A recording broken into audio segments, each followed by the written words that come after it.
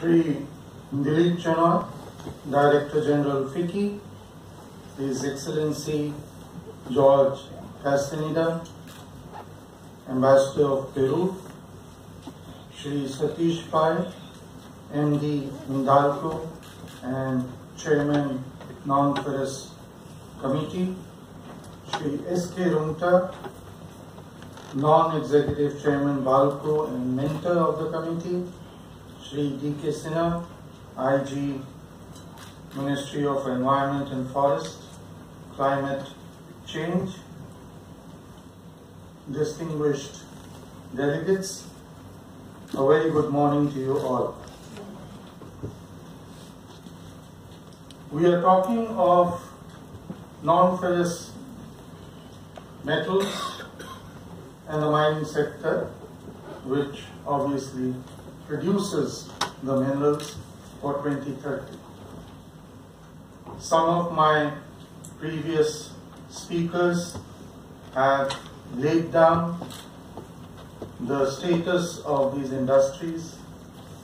Suffice to say that we are a very large consumer of non-ferrous minerals and metals.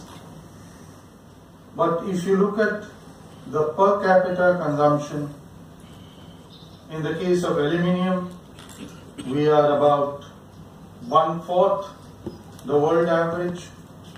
In the case of copper, we are around one eighth of the Chinese average, and so on and so forth. So, with the economy growing at six and a half plus this year, and seven to seven and a half next year, growth and in the medium term, growth in this sector is inevitable. There are certain challenges, especially in the aluminium and copper sector, where we have a large installed capacity and though there has been growth of about 5.4% in aluminium and 7% in copper, the capacities have outstripped the domestic requirements and we are in fact exporting. Of course, this has also been due to imports on, I was talking of basically virgin metal, but there is also a large import of scrap which is recycled and pushed into the domestic industry. Scrap obviously is a cheap source, but going forward there will be more quality consciousness and more delineation and standardization for scrap. And that I think is something which the scrap recyclers have to address going forward. On the issue of the basis or the basics of these industries, I will address aluminium and copper. In the case of aluminium, we are well endowed with bauxite reserves. I am aware some industries are starved of materials,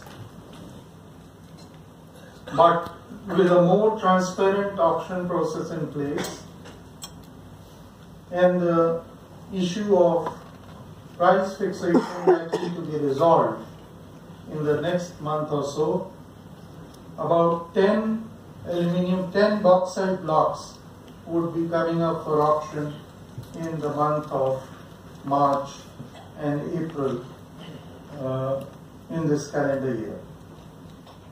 On copper, our domestic production is only about 4% of our requirements, of our domestic requirements. There as well, there will be blocks coming up for auction. And though for a long time certainly will be dependent on foreign sources of copper concentrate. We would go on increasing our ability to mine our own ore. We in the Ministry of Mines have taken a conscious decision to shift more and more towards deep-seated minerals and non-ferrous minerals in particular. So if one looks at the exploration programs which were approved on the 16th of February this year, you would find a distinct shift towards non-ferrous and deep-seated minerals. Because we realize that this is the area which has very high potential and a very high requirement and a strategic requirement for India's growth going forward. It was mentioned that FTAs have to an extent affected industry. I assure you that we will interact with industry in the best possible manner, which we have, at least to my personal knowledge, been doing in the last few years. I am sure even before that it was so, and we would see that FTAs do not disadvantage the Indian industry and its growth. Just a small comment on uh, the issues about forest clearances and so on and so forth.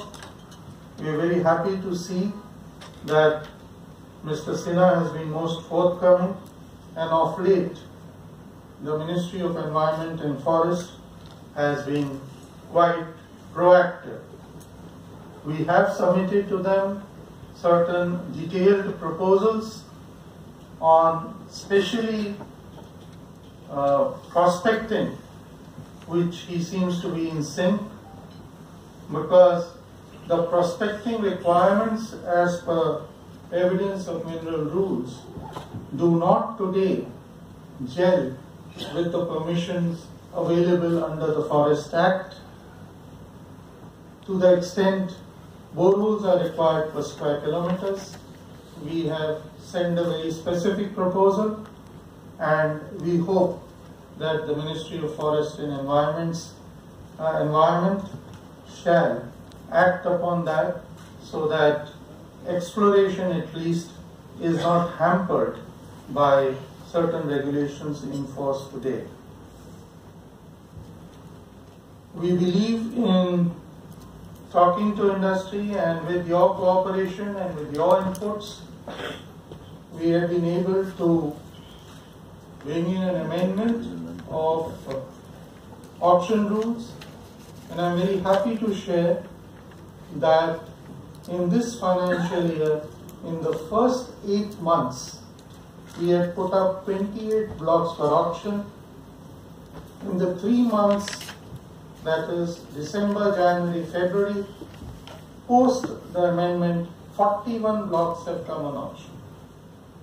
So we have the figure of 28 for 8 months and 41 for 3 months post amendment. And I thank the industry for the suggestions, the state governments and my officers worked on this amendment so that the auctioning of blocks has been substantially speeded up. It is not that we have reached the ideal.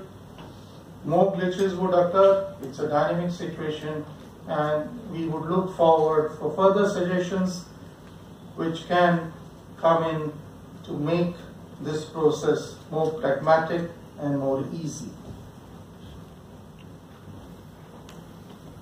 I think I have uh, more or less said what I had thought of putting forth to you. I'll be anxious and waiting for your question answers because it is in questioning that one gains real insight and is able to render certain clarifications. I would thank FICCI for calling me over here today to share my views with you, to share your insights with us to take this sector forward.